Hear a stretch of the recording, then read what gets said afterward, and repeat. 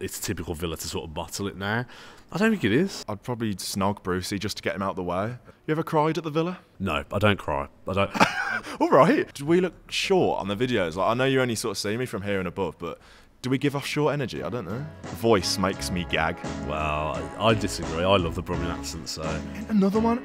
That accent was designed for moaning. Imagine being a Brummie. Right, hello, and welcome back to another Villa on Tour video. I am your host for today, Max Stokes, joined as ever by Amsterdam's finest karaoke merchant, Simon Lyons. How are you, mate? All good? yeah, I'm doing well, thank you. Yeah, look at his face. He's buzzing for the uh, karaoke bars in Lille. Um, what does any YouTube channel do during an international break? It's a Q&A. So it's going to be a slightly longer video today. We've got a, a trusty hat of questions here. Randomly, it's uh, for the Liverpool McGrath uh, bucket hat that we acquired in Dublin um, a couple of months ago. So there's about 20 questions in there. We're going to have a brief chat about the Villa first, because I mean, there's Villa questions in there, but a lot of them are quite random about us, YouTube, life, not necessarily Villa related. So a bit of fun in there. So should be a more exciting video, something different. Get to know us a little bit more and just have a chat really. So grab yourself a cup of tea um, and just enjoy the sort of longer format of the, of the show. Today we're filming somewhere slightly different, as you can tell, Hockley Social Club uh, near the Jewellery Quarter. If you ever want a couple of drinks or live music, it's such a cool space here, and they've obviously been kind enough to let us film. So a massive shout out to Hockley Social Club. So Simon, how are you, International break. We were just talking briefly before we came on.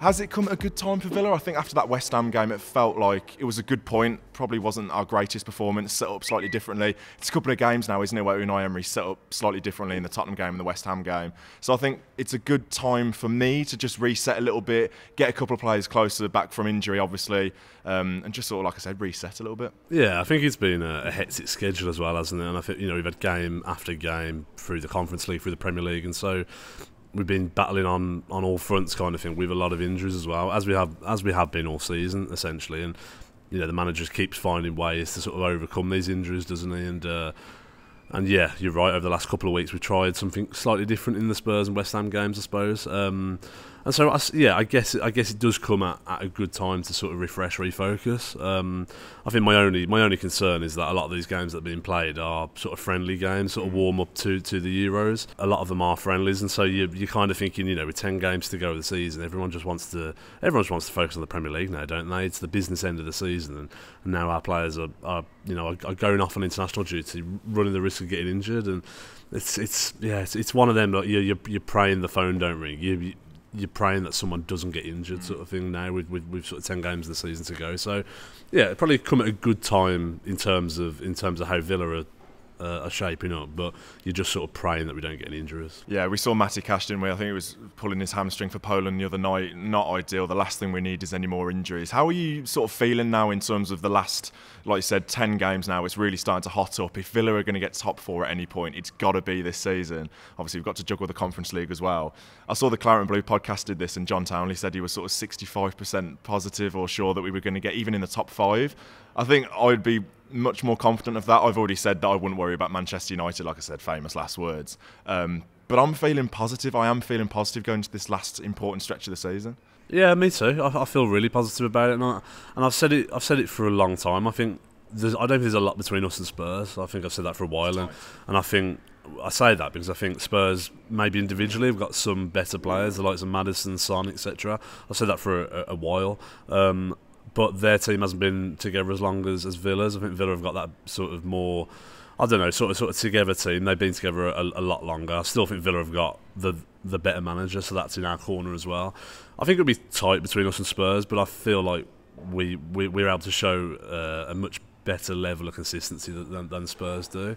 But I, I think it's going to be tight. We've got very similar fixtures. We've all got the top three to play kind of thing. We've both still got Chelsea to play. We've, bo- we've both got very similar fixtures. Look, you, you can't rule Man United out, can you? You you can't rule them out because we know that on the day they're they're still a, a decent side and they can win football matches because they they've got decent players. But I'm confident. I think I think I think we'll definitely finish in the top five. Um, It's looking like that's it might just be enough. Arsenal have got Bayern Munich obviously in the Champions League. That'll be an important game. West Ham battering Freiburg. Obviously, this is all for the coefficient. It's basically England versus Germany at this point, isn't it? Yeah, and the big yeah, and so the, the draw the draws could have been better for us really. I mean, as you say, Arsenal got Bayern Munich, and a lot of people are saying Bayern Munich will definitely win. I'm not so sure about that. I, th- I don't think Bayern Munich are the team that they used to be, and I think Arsenal are sort of riding on the crest of a wave a little bit at the moment. So I'd I'd, I'd back Arsenal to get the job done in that one. And then I think the one that you look like you think, well, England might lose a team there is West Ham against Leverkusen in the yeah. in the Europa League. Obviously, Leverkusen have barely lost all season, have they? And so,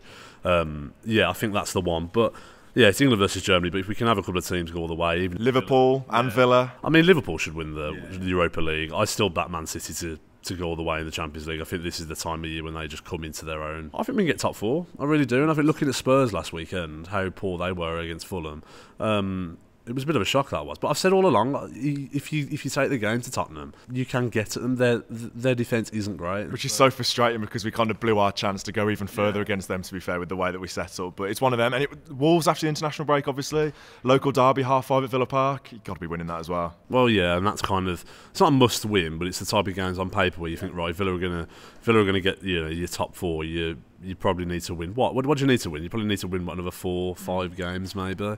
And it's those games against Wolves, it's the, it's the games at home against Brentford, Bournemouth, even like Chelsea, mm. away at teams like Brighton, Palace. It's those sort of games that Villa will be looking at to, to really secure the place. But you know, what, I am confident though, and I've seen I've seen a lot of people say like in recent weeks that oh, it's typical Villa to sort of bottle it now. I don't think it is. I don't think it is. I think you know you were looking at Villa this time last season when we were you know we were thinking, well, could could we have a run to, to finish in Europe?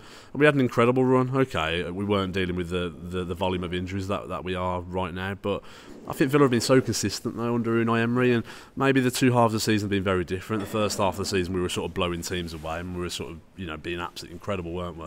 Second half of the season, I think teams have wised up a little bit. We're not playing like that now, but we've found other ways to win and find other ways to get points. And uh, Villa have been remarkably consistent, um, averaging what just under two points a game. Two points it? a game, which is remarkably consistent. And so I think if Villa were going to drop off now, it would be an almighty collapse, if I'm being honest, because, just because of how consistent we've been. So, yeah, if you're asking me if I'm confident uh, ahead of this final running, then yeah, absolutely.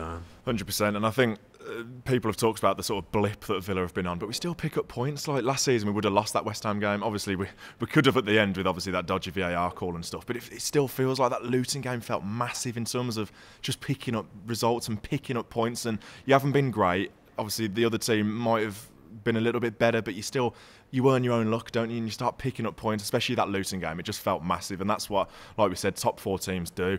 That's the Villa chat. That's the um, the boring football side of things. Should we uh, ask a few? Well, should we have a look at the, some of these questions then? Like we said, a lot of them aren't football related. Some of them about us and just random YouTube questions, really. So it's a bit of fun. So uh, I'm going to let you, the uh, the magic Paul McGrath hat, have, have the first one. I feel like I'm doing the FA Cup draw or something. Yeah. So, so the first one is probably our favourite from oh, really? that came round on uh, on Twitter yesterday. So it comes from Owen. Okay. Snog, marry, avoid. Oh wow! So you've got Steve Bruce, mm-hmm. Sam Allardyce, wow. or Jurgen Klopp. Now, off air, you said you've got 100. percent Like you know wow. what you're going to say here. So I'll go first. Go I'll avoid Jurgen Klopp because he does my head in. 100%. I can't be dealing with him. Sorry. Just everything about him just annoys me. Um, the other two's quite hard. I don't know. I think I'd I'd probably snog Brucey just to get him out of the way because I don't think I could marry him because I just think he'd annoy me again. I think Sam Allardyce has got a bit about him, so I'll I'll marry him. See, I'm a little bit different there. Sam Allardyce scares me a little bit. I don't know. Brucey scares me though because because though with Steve Bruce, like he seems okay, he seems fairly like calm, and then he'll just lose it like that, which scares me. See, I think Bruce is just a lovely man, and I think he'd be a love. No, I don't think he's a lovely bloke, yeah. and I just think he's an all-round good bloke. And I know he's been, you know, he gets taken the mick out of the press, but yeah, for me, I'd I'd marry Bruce. Uh, I'd avoid Sam Allardyce just because he scares me. The whole like snog Klopp. Yeah, I think so. Just get it out of the way because I out the way. I yeah, I don't want to snog Allardyce. He, he scares me a little bit. It's like the whole like pint of like yeah, gravy, like from up yeah, north sort of thing. He just, he just scares me a little yeah, bit. So um, so yeah, I'd go uh, I'd go avoid Allardyce, snog Klopp, marry, marry Brucer. Great content this is. Right, next one. Oh, okay. So this is the question that came up so much on Instagram and Twitter. Everybody wants to know this one, right? So, what are your jobs? How does Villa sort of impact on your life? What sacrifices do you have to make? What does your time off look like? Because obviously we go to all all Villa games, home and away. So the first one that came up, people want to know what our jobs are. I think people, some people sort of expect that I do Villa on tour full time, um, which I wish I did. I didn't. I've got a normal Monday to Friday, nine to five job where it's sort of in the similar sort of industry, if you like. Like I do videography and photography, um, so that's sort of my thing for a, a large company. Um, so yeah, I don't do YouTube full time. I'd love to. Um, I guess when you're covering one club with a YouTube channel, the sort of audience base is is limited really. I think if you do general football content, your subscribers can go hundreds and hundreds of thousands. But if you are so covered by one club, like I only do Villa, I'd only ever want to do Villa. There's only a certain amount of Villa fans, and I think Villa on tour is quite good because you do get other fans of other clubs watching it because it's a group of mates going to the football and it's funny and it's a laugh and stuff like that. But I think, yeah, I'd love it to be a full time job, but at the moment, it's it's not. Yeah, that's the dream, isn't it? That's the dream. But yeah, for me, yeah, I'm um, I'm a nurse in the NHS. Uh, uh, not sort of on the on the front line anymore. So that's how I get my uh, sort of my weekends off and uh, and and like night times off, sort of thing. I, I just work. Uh, long hours, four, four days a week, sort of office hours, and so um, that enables me to yeah to, to go to the villa on weekends and stuff. So I don't, I don't need to miss any. So yeah. I think people talk about annual leave a lot as well, and it's like, where do you get all this annual leave from? I, I get 25 days just like anybody else, and you just have to manage it, don't you? Like we talk about how much annual leave have you got? Are you using two days for Lille? Are you using three days for Lille? I'm going to use in two days. We're going late on a Wednesday, for example, because I need to save that Wednesday with uh, Fenerbahce away in mind, with Athens in mind. So it may seem like it's really easy for us to go home and away, and we are privileged in that respect, but it does take a lot of sacrifice as well in terms of giving up on, on family holidays or you've only got a couple of days left to go away with the missus or something like that. Like it's it's it's not ideal, but I guess if you want to go home and away and keep up your reference to go to all these European games, it, has got to be done. Yeah, and as you say, it's the it's for, for me the vast majority of annual leave is is used on, on Villa. It's like using half days to go to say Man City away in a couple of weeks, or using a couple of days when we go to Lille and whatever. And um, and yeah, it's kind of like sacrifice, as you say, sacrificing holidays, family holidays and stuff. And uh, and I always say like a lot of my holidays tend to be like sort of pre-season trips to follow Villa again. It's I, I, combine it, I combine it into the one, don't I? So um, but yeah, it's it's yeah, it's it's no secret. We we're not sitting on like a massive bank of, of days off. It's just that yeah, we, we have to utilise our annual leave, and yeah, we do it fairly well. So so next one is. Uh, if you could have any job in the world that isn't YouTube, what would you do? Again, job isn't YouTube. YouTube would be the dream. Imagine like doing Villa on tour. Like that's just yeah as a full time thing, that would be unreal. But I think it obviously would be something. My passion is videography, photography, creating content. I think being the like the club photographer or the creating content for the club that'd be brilliant. Yeah i don't think working in media in football is is great really because they do for me exploit people in terms of how much they pay and things like this because they know that so many people would jump at the chance to work at a football club. They do sort of compromise that by paying not great wages and things like that. So footballing money, if you're not a footballer or a manager or something, isn't great.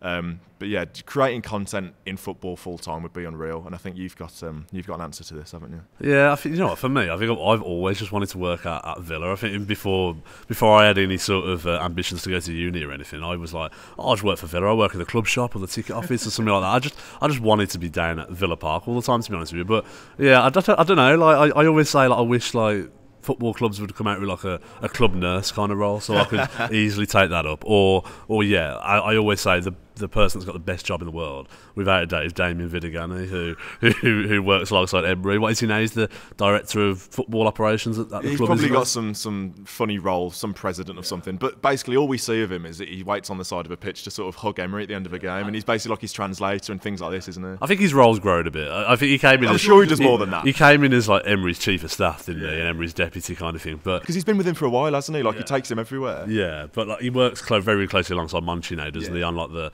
on the football operation side of the club. So, but I think he's got an absolutely incredible job. So, if uh, yeah, if they want to, if, if if Damien has to go and they want to replace him with anyone, then. I'm your man. So, next question we have got. How do you always get the back of the coach? Do you own the bus company? No, it's a bit of a boring answer, really. We just get on at the first stop and nobody else really gets on. So we just get the back seats, and we have done for about seven years. And because we're like Villa's hardest, nobody wants to come to the back and get us out the way, do they? It's basically because we were just there at the coach stop very early, isn't it? And we just we get on first. Boring answer. It's a very boring answer. It's a good. It's a good group on the coach, though, isn't it? Because it's been like the sort of same fifty people going for years and years. Like you just know everybody on the coach, and it is it is wicked. Like you say hello to everyone. Obviously, we all go to the same pub and just have a chat and stuff. So you're not just in your sort of group of five or six, are you? Like you just get on with everyone, and it is wicked. I think that's what the Villa away scene's a little bit like, though. You get to know like you probably get to know hundreds of people really when you think about it, don't you? It's, it's rare that you see someone in the away and that you haven't seen before or don't know. It's like it always makes me laugh, like walking through the streets of Amsterdam and or wherever we've been away in Europe, in Poland, whatever, and you just see like people that, that, that you know, and you know you, you've shaken hands about twenty times yeah. as you walk down like a, a two hundred yard sort of path sort of thing. Yeah. Like it always just makes me laugh. But yeah, no, it's a good group against the coach. Yeah, we always enjoy it, don't we? Yeah, I think the one that made me laugh was just in Bosnia, just walking through these back streets in a country you would never have dreamt of visiting, and just seeing some bloke who lives five minutes away from you, and yeah. just expecting it. Like it, it is wicked and it's totally random, but I love it. Working with other vloggers, who do you admire? This might be a bit weird, but I don't really watch a lot of football vloggers. I don't know. I think because, like I said earlier, like I only really care about Villa. Yeah. So I wouldn't really watch another club's designated vlogger unless it was like from a mad game or something like that. But I like I think especially with YouTube, it's got to be your personality. Yeah. Like anyone can film a football match or film somebody warming up or film a goal or whatever. But I think it's all about personality, which I think, not to blow our own trumpet, but I think that's why we do quite well because we are genu- a genuine group of mates who obviously get on on camera and off camera. And I just think that's what people want to see. They want to see us have a laugh. And obviously, when Villa are doing well, that's that's brilliant and stuff. But I watch Ellis from away days. Like that's that again. He's got a personality. It's not all about the football match. I think if you watch one of my videos, probably about 35, 40 percent is the actual game. A lot of it is talking more yeah. generally, us in the pub, whatever. So I think YouTube to succeed on there in the football space, it's all about personality. Yeah, I think you're right. I think you're right, and I'm fairly similar. I, I basically only really watch sort of Villa stuff, but um, yeah, I've, I've, I've seen a few things of, of of other clubs, but I think you're right. It's I always get sort of attracted to the ones where it's not just all about the football, where there is a little bit of uh, personality. So yeah, but I don't I don't watch any of them religiously, but yeah, there's a lot of good ones out there though. I think it's ones with maybe more generally football related ones that have like a storyline like when Ellis went to San Marino or going to random places funny stadiums things like that something yeah. that you can create a piece of content around a storyline. I think that's that's what I enjoy watching. Um, this one we'll rattle through this quickly. Favorite away day of every season doing Villa on tour. So I started this channel in 2017 so there's a couple of COVID years in there, but we'll start um, 17, 18. I think my favourite away day that season was probably the one where Villa on Tour started.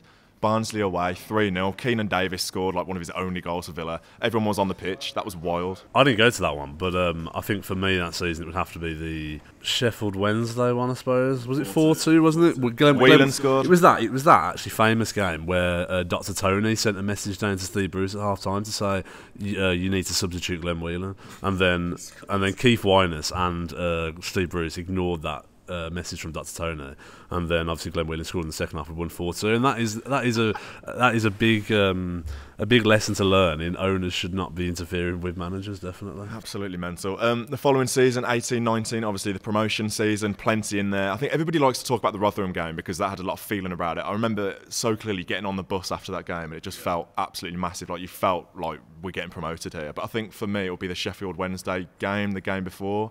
What was the score? 3 2. 3 2. Two late goals. It's 3 no, 1. 3 1. 3 1. So we obviously scored a last minute winner to win 2 1, and then we scored again with Tammy Abraham, and it was just 6,000 Villa in that away end. It was. Yeah, and that was one where Jed Steer saved the penalty as well, wasn't it? And Perfect. yeah, for me, it would be that one or or the one after the Rotherham one. As I said, um, I said to off camera didn't I? That it was just a feeling. It was just a feeling of that game. It was like we beat Rotherham, and again in, in adversity really as well. We've gone down to ten men, and Dean, Smith, Dean Smith made that made that change. He brought Kodjia on. Um, we went two up top, and it, it, it kind of felt like when we won that game, it kind of felt like we're going to get promoted this year. Um, and so that's probably why it sticks in the mind for me. But yeah, those two definitely. Um, the season, our first season in the Premier League, then not too many to choose from. You've got Norwich 5 1, that was decent, but I think the Brighton game was good. I think it was only 1 1 to be fair, but you watch that clip of when Grealish lashes that in, and that away end is one of the best scenes. And the noise is one of the best ever. It just, I know it was only to get a draw, but that was that was class. Yeah, and it's always the day at Brighton, isn't it? Though it's always it. it's always a bit unique. You know, you sort of have a drink on the beach, don't you? And we've always been we've always been really lucky at Brighton. We've always had like really nice weather, even though yeah, even we've all we've always been in the winter. Um, and yeah, it's always been really nice weather, really sunny, and so having a drink on the beach, it's just that it's just that it's a little bit of a different away day, isn't it? And so you're not in spoons. And as you say, we we we managed to. Uh, you know, to get that equaliser. But that I remember that day as well. It felt like a big point that did though, because we were sort of decimated with injury. Do you remember, like uh, Vassilev was up front for us. Vassilev was running around. Yeah, Yeah. I remember that. Well, like when Grealish scored, Vassilev was there as well. Um, and so he doing now? exactly, yeah, God knows, I have no idea. Following season, then the season we came back from COVID, so 21 22.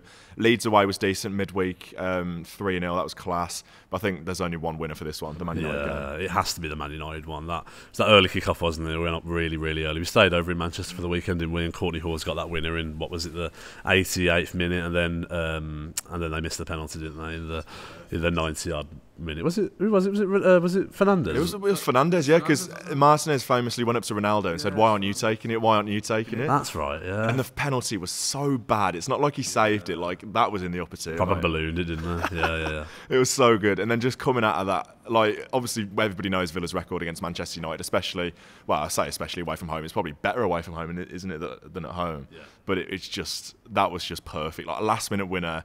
I think that was. Was that just before Dino lost five in a row? It was, wasn't it? Yeah, was it that was. sort of early on in the season. So to one of Dino's last sort of proper good games, like it was a, a decent way to go out. We'll forget about the five game losing streak. Um, but the season after that, 22 23, there's quite a few in here. Obviously, the first season of Unai Emery, plenty to choose from. Chelsea away, Everton away, again, Brighton away. We had a great season, didn't we? Yeah, we did. And when he came in, we were just winning away game after after away game, weren't we? So. Yeah, it was a it was a bit of a sea change for us, wasn't it? We weren't used to winning so many away games. But for me, I think it has to be that Chelsea one for me. It kind of felt like the starting point of something big that did though, because we beat Chelsea, and then a few days later we went to beat Leicester on the Tuesday night. we were stuck in like 11th place, and I think Chelsea were what 10th. So winning that game actually leapfrogged us, and it felt like we were in 11th for so long. And then once we won that Chelsea game in early April, wasn't it? We just we just went. Yeah, that was it. We went on an incredible run, and then obviously we ended up finishing in Europe, which everyone would have laughed at if you'd have said that to them in like the the, the previous October when Gerrard got sacked and Emery came in. So yeah, probably the Chelsea one for me. And then this season, you've got a few. Tottenham away was obviously brilliant, but I think it's got to be that Luton game. A lot of people have said that's one of the best videos on the channel. I think it is as well. It was just just brilliant, and I say it because it's it's rare for me to go to a new stadium, and especially in the Premier League, go to a new stadium that away, and everybody loves it. I loved it. It was brilliant, um, and a last minute winner as well. You can't beat that. No, it was a great game, wasn't it? Obviously, we raced into that two goal lead, and uh, and they came back as Luton always do. But then we got that last minute goal. But yeah, you're right. The stadium, the half five kick off, everything about that day was just really, really, really good. So yeah, I agree. Luton, Luton's definitely up there for So me. So so good. This is the thing that everybody says whenever they see us in person. This is the comment they make: Who's taller, me or you? Right. But everybody says when they see us, "Oh, you're taller. You're taller in real life." It's like, do we look short on the videos? Like, I know you only sort of see me from here and above, but do we give off short energy? I don't know. I don't know, but every, you're right. Everyone does say that. Everyone, uh, everyone always says, "Have you been in like a grow bag or something?" Don't they? Like to us, and oh, I didn't realise you were that tall. And I don't know who's taller though. I'm not really. I think I think we're the same. You know. I, I, Oh? I, I Okay. don't know. I'd, I've never really, I've never really. I mean, some bloke measured us in a pub in Amsterdam, and I think we were all a bit drunk at that yeah, I, I don't remember that. Shock. Um, but I think we're what? Would you say you're six foot three? S- yeah, six foot two, six foot three, somewhere between that. I would have thought. So I think we're all tall at Villa on tour. Like Owen and Jamie are like similar, aren't they? So you're not allowed in like this group unless you're like six foot three. I think or, like- Jamie's the tallest. Yeah, you must be like six five or something. Jamie's the proper, proper. Like on the video against West Ham, I was stood next to him and I was like that. Yeah, I and I, feel I don't really look short that often. Yeah, I feel like I'm looking up to, to Jamie definitely. So yeah. Next one is from Harry. How do you deal with negative comments? Um, I mean, you just have to you just have to deal with it. I mean, I've done this channel. If you put, I think if you put your face out there, especially in football where everyone's so tribal and everyone wants to have a go at everyone all the time for your opinions and various things, you just have to sort of deal with it. I think early on, obviously, I, it was like a shock to the system, but I think because I've been doing it for so long now. Just got to deal with it, haven't you? Suck it up. And I'd, I think Twitter's the worst. I don't really tweet anymore unless I'm promoting a video because I just can't be dealing with people on Twitter. Um, but we don't really, we rarely get it in real life. It's just social media, isn't it? Yeah, th- th- there's just a the minority of idiots out there, isn't there? And I, and I think it's you're right. It's like social media, the stuff people say to you on social media that would never say to you in, in your face, kind of thing. And I, and I think sometimes with this kind of thing, because you're out, you know, on, on, on videos a lot or on podcasts quite a lot and stuff, people think they know you, don't they? Yeah. That's the that's the other thing. People think they really know you, like personally, um, when in reality they don't know hardly anything about your life essentially. And so I always do. I, I actually find it quite funny when someone has a dig. I maybe I wouldn't have been like that a few years ago, but when someone has a dig now, I just find it quite funny. I just laugh it off these days because it really really doesn't bother me or bother my life. So yeah, crack on. Producer Tiff, can you pass me my phone? Because I've taken a screenshot of a few hate comments on the West Ham video. I screenshotted a few, uh, hate comments on the West Ham video, and this this is like one video just to give you a bit of context around like Yeah. what's going on. Dude, invest in some blinds or at least curtains from this century. So talking about my bedroom, which is good. Someone called me Specky here. That's a new one. How annoying is that voice? That's our Brummy, Brummy accents. Well, What- no, there's so many comments about our voices. If it's that bad, don't come back. Referring to the stadium, I wish. Do you ever stop moaning? Good. Can we rate that dialect next? I'm, I'm afraid it's just a, it's a it's a Brummy dialect. What what what can, what can I say? I'd say the same about the Cockney ones, to be Exactly, honest. exactly. It's, look, we're just honest, working class people from Birmingham. So, what, what what are you gonna get? you This know? one's the best, right? Voice makes me gag. Well, I disagree. I love the Brummy accent. So, Again, another one. That accent was designed for moaning. Imagine being a Brummie. Uh, it's, on. I, I've got to say, any West Ham fans watching it or any Cockneys watching it, being a Brummie is absolutely incredible. So, up the Birmingham. rattling through these. Top three beers from Jeeves, I think is how you how who asked that. Um, I love a beer, I do, as you can probably tell. Um, but I don't like any of the boring stuff like your Carlings or anything like that. I like the funky ones. You know when you go into a pub and they've got like a, a massive loads and loads on draft and they're all like funky ones like IPAs or pale ales and stuff like that. That's so me. That is like fruity beers. I just love stuff like that. Like when, when we were on the um, train down to Fulham, like what did I have? The disco forklift truck. You know them weird beers you can get from like Sainsbury's and stuff. Like I think I've got a, a Yorkshire pudding beer that I haven't touched because that scares me a little bit. Um, but just like the funky ones, the fruity ones, the ones with weird names. Yeah, I see. I'm not a massive beer connoisseur. I, I like a beer. I do like a beer, but um, as you know, on like away days and stuff, for me, it's like I'll have a couple of beers and I need to move on to something else. I can't, I can't just continually keep drinking beer. So I'm a little bit boring with it, really. Like I just like the standard, like your Coronas and your uh, what's it, your Birra Morettis and your and stuff like, that, which are all right. But I, I tend to have like two to three. Um, unless there's like a happy hour and there's like a picture on offer or something like it was in Amsterdam, um, and then I'll quickly move on to like a, a whiskey or a vodka or something like that. So. I like a blue moon as well. I don't mind a blue moon. Again, fruity. Put that slice of orange in the top. Or eight. Yeah. Yeah, eight- eight's like more more orange the better. I don't mind. Oh, okay. This is a Villa related one for once. All time favourite Villa memory from Scott. I, I, it's, hard that is, isn't it? Because I've got you know I've got probably loads of little like quirky ones which people will be like, oh, I, don't Well, they're- they're yeah, it's for different reasons though, isn't it? I think the big I think the biggest one, the biggest like moment of elation has to be. For me, it has to be beating Derby in the playoff final. I know that sounds a little bit tin pot. Like people think, oh, it's Aston Villa, you shouldn't be celebrating like playoff victories. Yeah, but we, we don't win anything though. Exactly. Like I've never seen Villa win anything. You know, when we won when we won the 90, uh, 94 League Cup and the ninety six League Cup, I was what uh, two and four respectively. So might not even been that. It might have been like three, I think actually, something like that. So I don't remember that. So I've never seen Villa win anything. So the playoffs was a really big moment for me, and it was it was the culmination of that ten game winning run, wasn't it? And just the general feeling and how rubbish it had been to follow Villa up until that point. It'd been really, really rubbish for the majority of me watching watching Aston Villa, and so that just felt like a massive moment of elation. So I'll, I'll have to pick that one. You ever cried at the Villa? No, I don't cry. I don't. All right.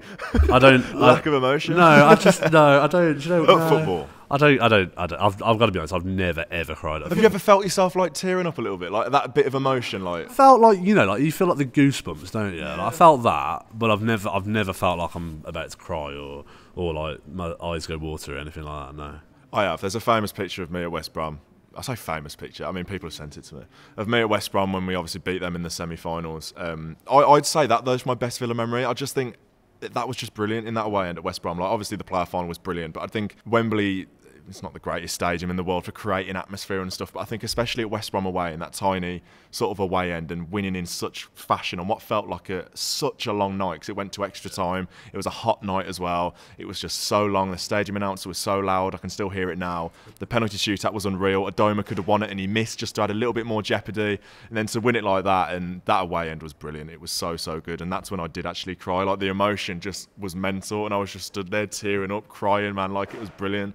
And uh, hopefully I'll be doing that in Athens again. Yeah, I don't, I don't, I don't judge anyone for crying. Absolutely, like go for it. If that's what, if that's what floats your boat. Go for it. But I don't mean to cry. I just can't help it. I know, but I just, I just don't get that natural. I just don't get that natural feeling. I'm just Cold man. I'm not. Nah, I'm just buzzing. I remember. No, to be fair, like it felt quite like again poignant against Brighton on the last day of last season as well when we got Europe. That was another one. Um, I didn't feel like crying. I was just absolutely buzzing. I was just beaming from ear to ear. Really. Even like Luton, I felt emotional though. Not not not to the extent of crying, but it just felt it just felt emotional. Like oh my god, like we could do something special here. yeah, I get that. Yeah. Um, I guess this is more one for me. Uh, how do you manage slash cope with the stigma around people recording at football matches? That comes from Liam. I think there is a sort of stigma, but I think it's been going on for so many years now. Like it's not a new thing, is it?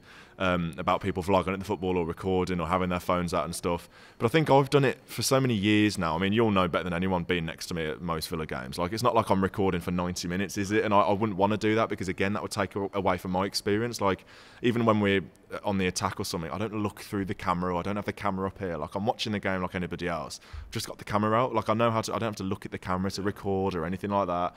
And I just, I just love it though because it's creating memories and looking back. Like we talk about those games, our best Villa memories. You can go on YouTube and look at them. Like now for us, like it's not in here. Like you can actually go and watch it, and that's that's why I do it. That's the reason. And again, for people all over the world, because Villa are so massive, there's Villa fans everywhere, and hearing them say how brilliant it is, like that just that encourages me to keep on doing what I'm doing.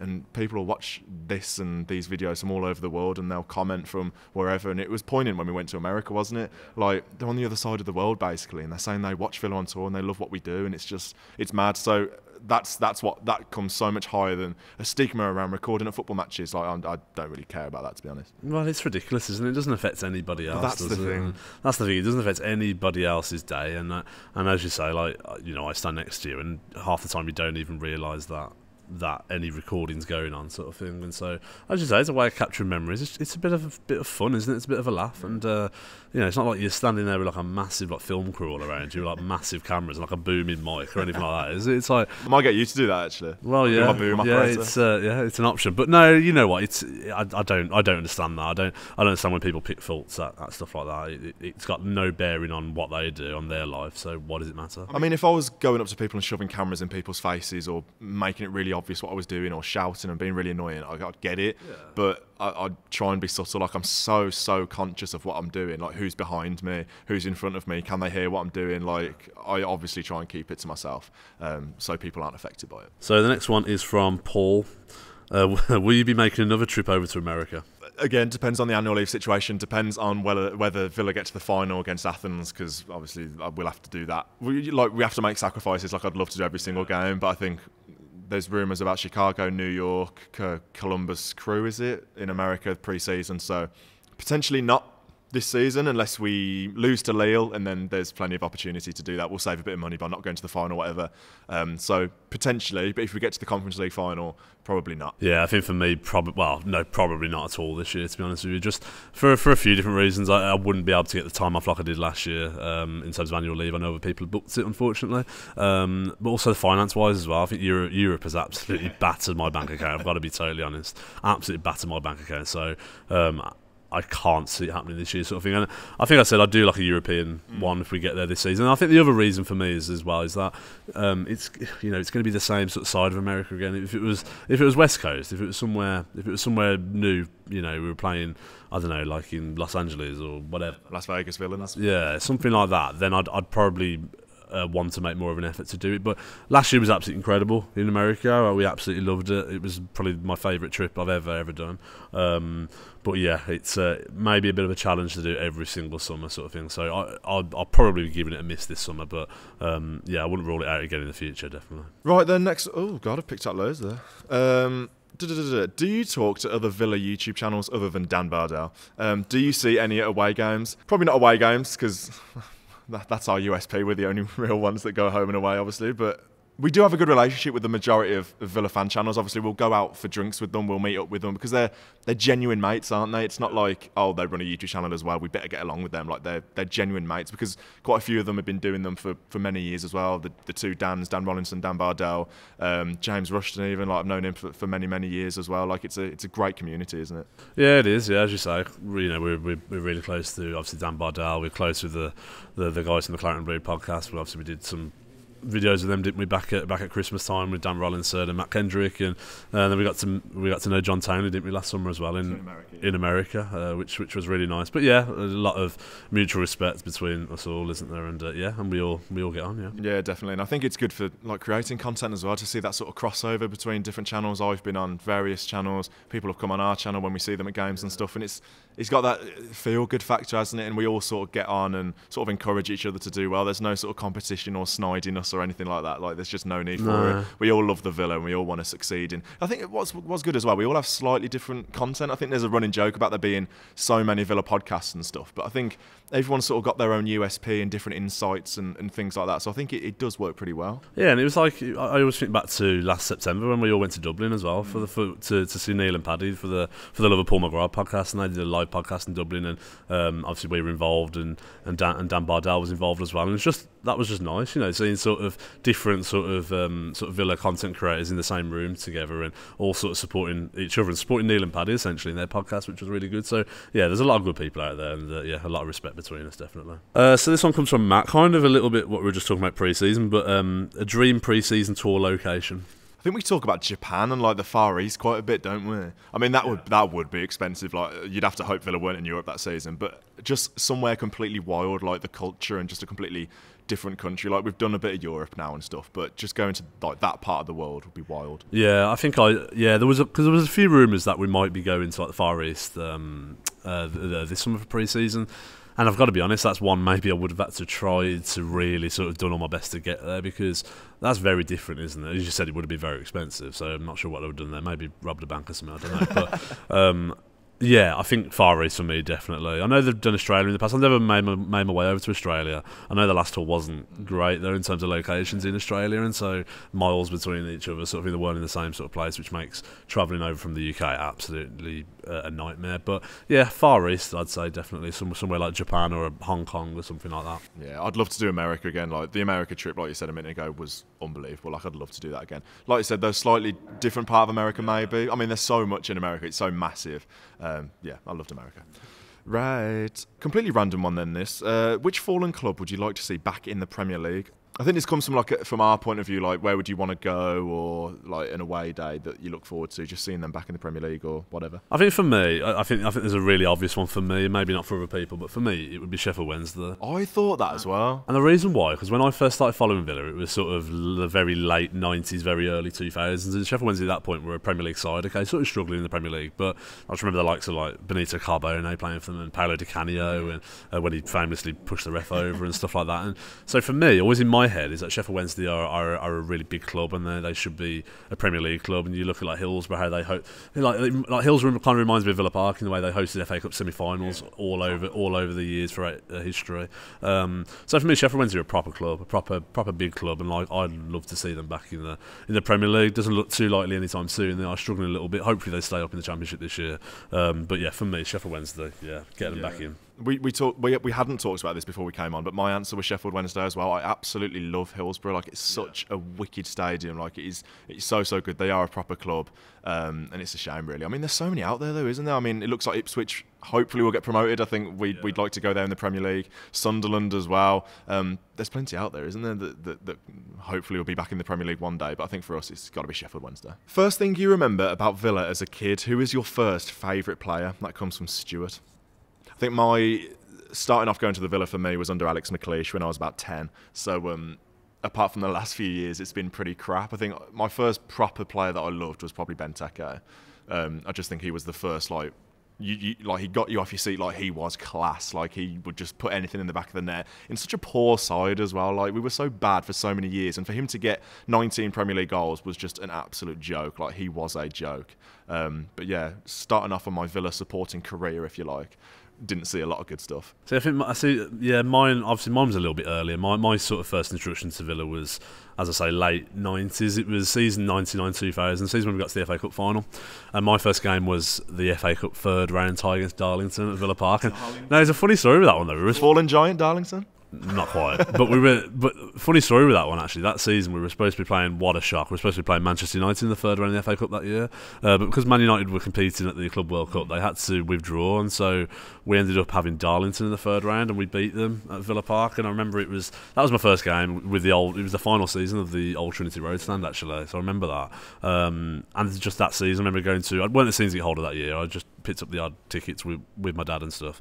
Um, I remember a ga- a game against Watford at home and we beat them 4 0, and Paul Merson absolutely destroyed them. And uh, and then I ended up going to the FA Cup semi final at Wembley against Bolton as well, and that was that the, the old Wembley Stadium, and that was and that I just remember all like the old uh, sort of like bench seating, sort of like on stilt sort of bench seating, not proper seats. And uh, so yeah, a lot of my memories tend to come very late 90s, early 2000s. The John Gregory. I used to feel that side was really exciting. I did with the likes of Dion Dublin and Paul Merson and um, Benny Carbone was absolutely brilliant for that second half of that season. Um, so yeah, a lot of my memories come from there. Really, I think there was a bit, there was always a lot of criticism about John Gregory at the time that he was a bit negative and stuff. But I absolutely loved that team and loved, and I just thought we were an absolutely brilliant team at the time with a lot of likable characters. So yeah, that that's that's that's the, always the one that sticks out. Somebody says, "What do you think?" You know, what do you first think about Aston Villa? It always goes back to that kit as well. You know, the the the, the stripy the stripy kit, the the one that's synonymous with Carbone and Merson. And so yeah, but for me, like if I was going to pick a favourite player, Paul Merson every single day of the week. Yeah, I think my childhood was like I, I, just think of it. It's like Genting Casinos on the top. It's Dagobert. It's Brad Guzan in goal. It's it's that sort of time. Like even my cat is named after Brad Guzan because like when I was about ten, like he wasn't even because my cat randomly was born in 2012. Brad Guzan had one good season, and that was after that. So I don't know why I called him Bradley after the 11-12 season when he didn't play, did he really? Brad Guzan? Uh, he played 11. Yeah, he played 11. Who was that under? 11, 11 12 was McLeish, so it was sort of sh- yeah, so, so, sort of Shay Given that year, and then it was the, it was actually the year after when he had a good season. Yeah, Guzan. It was 2012 when he had a good ah, season. 12, 13, 12, 13, he had a good, really good season. Brad Guzan, probably his only good season, but um, yeah, he made. Do you remember that double save he made against QPR? Do you remember that one? Where, like, I remember the, the one from a Chris Samba header yeah. right in the top corner. Yeah, that, yeah, it was in the same move. Samba with like a header in the top corner, but then Samba absolutely smashed one towards the top corner of his foot as well. And Guzan saved that. It was literally the same like move. It happened all in the space of about 40 seconds. Um, he had a brilliant season that year. He just tailed off horrendously after that. Yeah, I remember. I remember recreating that save in my back garden randomly because that was like that was before I had a season ticket and I actually was at that QPR game. It was a brilliant game actually. Um, but I remember recreating that, that save in my garden. And I think what Weimann scored in that game as well. I was just obsessed with that game. I don't know why. Didn't Jermaine Jenas score for QPR or something horrible? He did, yeah. Was it free? Was it free too? That yeah, game? and Josh Townsend I think was playing for them as well. Like yeah, some real random ballers in that game. But yeah, Brad Guzan. I don't know how we got into him. So this one comes from I think it says Dave. Um, what is your number one petty gripe with Villa, and how would you solve it? I'm not really. I'm not. Does he mean about the team, or does he mean no, about? I just think in general. Like I've got one. I think it's the pre-match stuff and the half-time stuff. I don't like how the music is so loud, like as the players are walking out and stuff. Because I think, especially in a big game, like I think it was the Ajax game, like I want to sing, like us in the upper hole, like we want to create something here. You've got the fireworks, you've got the smoke, you've got God knows what going on, you've got that weird light show like let us create something like it's it's us.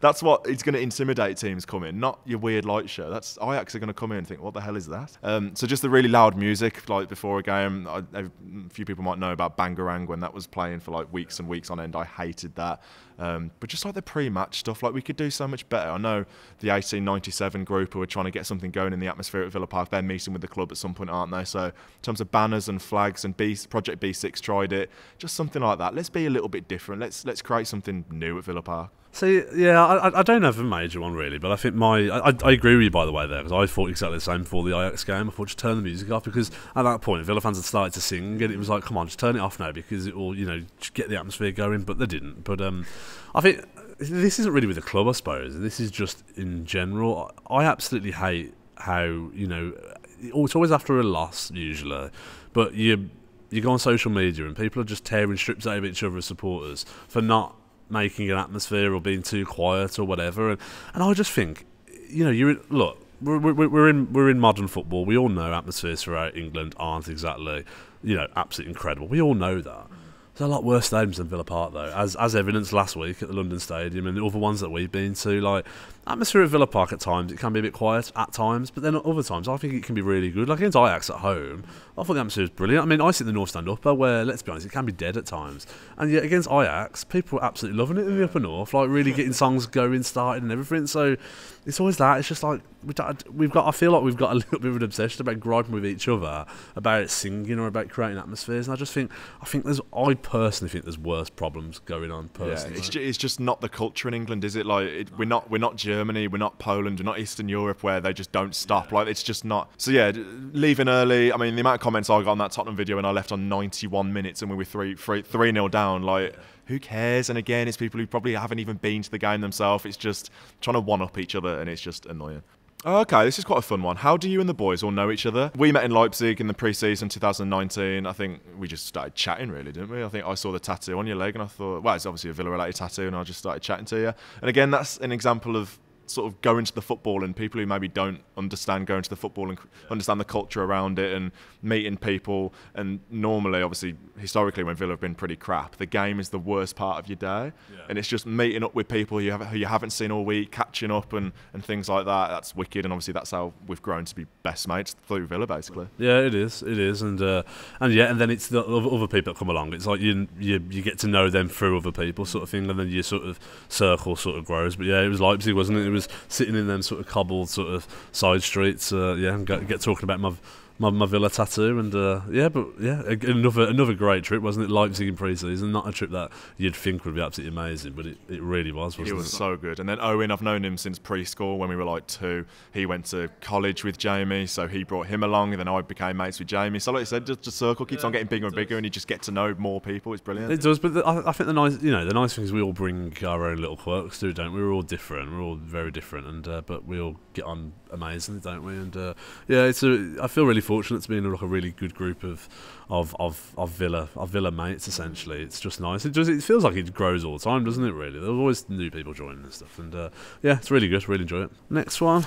Down to the last few. So this was from James Rushton. Favourite European away day so far? Again, I I think they're all for like sort of different reasons. Though I remember coming out of Luton Airport was it after Bosnia, and we were saying like, which one did you prefer, Alkmaar or, or Bosnia? I think Warsaw was brilliant because obviously it was the first one. We'll forget Hibs. The weather was good, whatever, but we lost the game. I think for me, it's between Alkmaar and Mostar. Do you reckon? Yeah, I think yeah, I think the the Or I, I forgot about Am- Amsterdam there. To be fair, The three for me are up there. It's Alkmaar, Amsterdam, and Mostar for, for all very different reasons. Obviously, um, Alkmaar because we obviously won, and obviously that felt uh, great. And we did a lot in that trip, didn't we? We went to um, did the tour of the, the of the final ground in Rotterdam, the scene of Villa's you know most triumph, my biggest triumph really. Um, we did the Ajax tour. Obviously, we didn't know we were going to be going back there. Mostar was just uh, incredible because it was so quirky, wasn't it? It's such a lovely place. It was so so quirky. I absolutely loved that trip. And then Amsterdam was just great because it felt like every single Villa fan on the planet was there, didn't it? And we and we had a you know a good few drinks and we did a we did a fair bit, and that was you know going to the Johan Cruyff Arena, watching Villa play there at one of those big stadiums against a historic team was absolutely incredible as well. So yeah, all for different reasons. Um, I don't know if I could pick one. You know, I don't know. Yeah, I mean it's close, but I'd pick Mostar just because it was so completely random and it was brilliant, and it was a country that I'd never been to before. Obviously, a, a city slash town that I'd never been to before, and it was beautiful. Like it was such a lovely place. In, yeah, in terms of seeing, in terms of seeing the place, and I think, um, I think it would be Mostar for me as well. Hundred percent. It was, it was just so quirky, wasn't it? Um, uh, yeah, only like a week or so before Christmas. It, yeah, it did feel quite special that one. So I, yeah, I'm, I'm, I'm with you on that one definitely. it's it's sort of one that you just won't forget ever. Like that Mostar one, it was it was unbelievable. Last couple then. Um, how how long does it take to edit a match day video? Um, you can answer this because you're the one who's snoring in bed when we're on European trips next to me while I'm up till 2 a.m. editing the bloody videos. yeah, so Well, you wouldn't know because you're fast asleep. I, it takes a good few hours though, doesn't it? Uh, ob- obviously, because uh, yeah, I'm I'm fast asleep, and uh, and yeah, Max doesn't finish till what two, three in the morning. I mean, the, the? America the America trip was mad because we basically did a video every day, and obviously we were out all day every day. So it's like, oh god, I've got to edit till 4 a.m. We've got a flight at 6 a.m. Like it was wicked. Um, but I'd normally probably say about three hours or so. I mean, if we've lost, I'll just want to get it out. Uh, just two hours. Um, but it's normally around three hours, maybe four hours with editing, making thumbnails, things like this, thinking of a title, doing the description, doing all the tags on YouTube. Like, there's a lot that goes into it, and there's a lot to think about. Um, but yeah, I'd say about three hours. Obviously, when it's a night game, you're up till two or three in the morning. Um, on on a Saturday, it's decent because you can sort of still have your evening. Um, but yeah, it's it's a lot, but I love it. And last but not least, is it going to be a good one? I think we've you've kind of already answered it really, but I will ask it anyway. So, could you ever see YouTube being your full time job? Could it ever be financially viable? I mean, somebody else asked a question that I hadn't included about how many subscribers would you need to make it your full time job, but it isn't based off that though. It's based on views. Obviously, that generates ad revenue and things like that. So.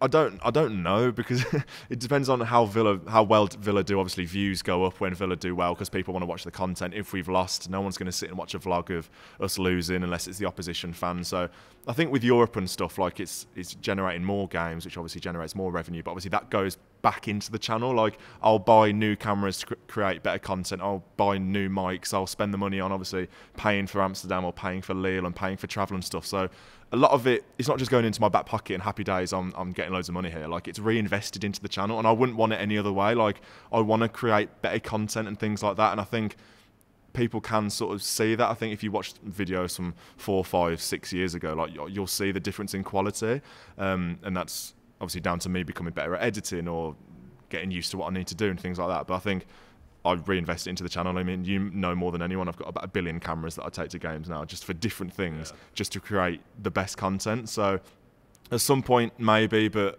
I don't see it realistically. But I think it works well though because I haven't got the pressure of thinking, oh God, I need this many views to pay my rent this month and things like that. Like I've got a, a nice nine to five job, which I'm very lucky is quite flexible in terms of, you know, I can go to weekend games and I can book half days and things like that. So I am very lucky in, in, in that side of things. Um, but yeah, it's a nice mix at the moment in terms of having Villa on tour as an outside weekend thing and then uh, my work nine to five. So yeah. Yeah, I suppose it's that fear, isn't it? I suppose it's that fear of as you say, you're having to have that pressure on. Oh, I need to produce some content so I get some money this month. But I think that's where the, I think that's where the quality might drop. Yeah, exactly. Because I think if you're if you're thinking, oh God, what content do I do?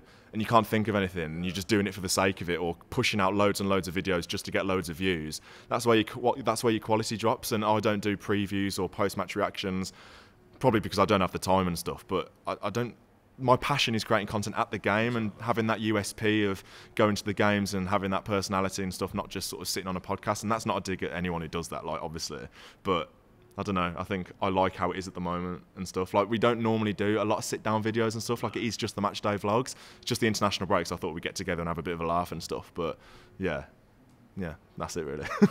yeah, so that's all the questions really. A, lot of people asked and a lot of people got involved on Twitter um, and Instagram. So thank you so much for that. If you didn't get your question answered, I do apologise. There was absolutely loads. So thank you to everyone who got involved. If you don't already follow us on Twitter and Instagram, please go and do that. Please do subscribe to the channel if you haven't already. I know it's been a slightly different form of content. Um, this will go out on audio only platforms as well. So this will be on Spotify, um, Apple Podcast, things like that. So don't go and follow our podcast over there, the Villa on Tour podcast. Go and search that on Spotify, Apple, whatever whatever it is, and you will find it. There'll be a link in the description as well. Again, a massive thank you to Hockley Social Club for having us. It's a wicked space. So if you're ever in the area on a Friday or Saturday night or whenever, really come down. It's such a cool place. Live music, anything, and they're so kind to us here as well, letting us film. Uh, so thank you so much, Hockley Social Club, for that. Thank you so much for watching this video. The next time we shall see you will be next week for a half five kickoff, a tasty kickoff time against local rivals Wolves. We shall see you then.